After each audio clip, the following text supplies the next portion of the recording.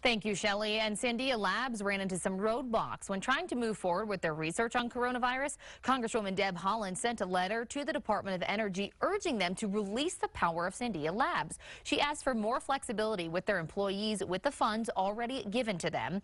So she wrote, I urge you to ensure that the capabilities of our labs and the expertise of their professional staff are employed in the battle against the coronavirus pandemic. And